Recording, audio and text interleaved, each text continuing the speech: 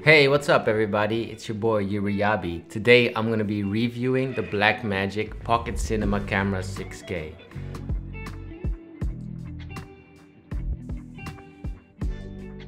This bad boy can produce beautiful footage and it's really helped me grow as a filmmaker. The image quality is sharp and detailed and the color science is truly inspirational. In an age where camera quality is incredible and the playing field is kinda leveling out, sometimes it's not about features, but about what the camera brings to its user. Blackmagic Pocket Cinema Camera 6K Pro, it's a mouthful, has a lot of great features has built-in ND, which is something I didn't know I loved before I had it. I remember on, I was on the coast of Kenya filming a Maasai security guard. If you're trying to shoot 1.8 those white sandy beaches, that equatorial sunlight, if you have an idea, you want to execute it as quickly as possible. Well, yeah, I love gear we want the gear to serve us and not limit us. If I have an idea, I want to execute it as quickly as possible. And having built-in NDs, being able to switch up depending on the look, depending on what I need, it's fantastic.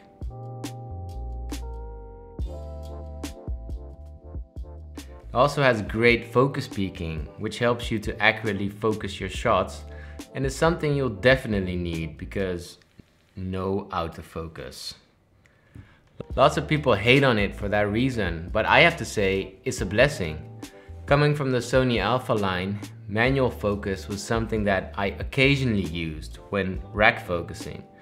But being forced to pull focus manually has not only made me better at pulling focus, but also more conscious of the power of the focus. It's a tool to direct the viewer's eyes and guide the narrative. By shooting everything without autofocus, you're giving away a valuable resource to sculpt your story to a computer.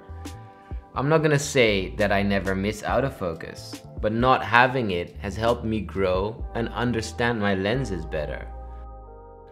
Another thing I love about the 6K Pro is that it can record B-RAW formats, which gives you a lot of flexibility in post-production.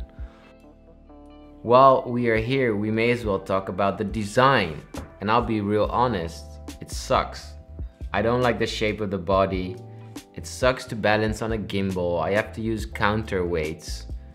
But to me, the shape is far less important than what I bought it for, and that is the image quality.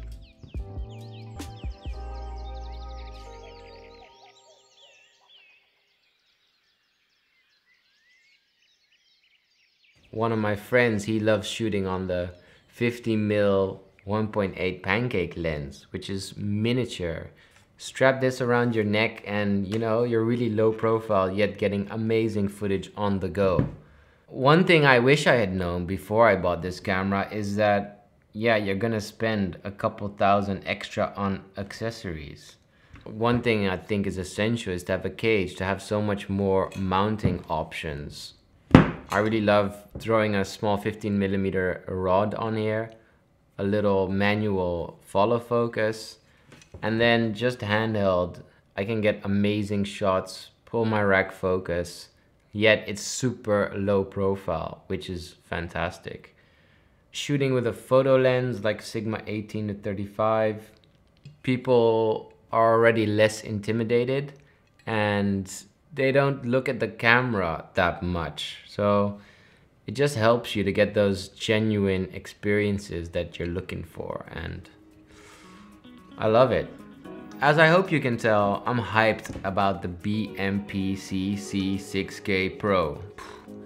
It's a wonderful camera that can produce amazing results. So if you're looking for a versatile camera that can shoot high quality footage in a small package, then I highly recommend the Blackmagic Pocket Cinema Camera 6K Pro.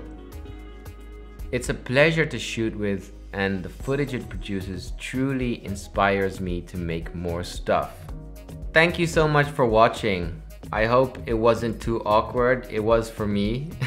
if you have any questions, hit me up in the comments below. Uh, I'm just figuring this out, getting used to filming myself, sharing my knowledge, sharing my process as a filmmaker and as a creator. If you have any feedback on how to improve and how to better my set, let's help each other move forward.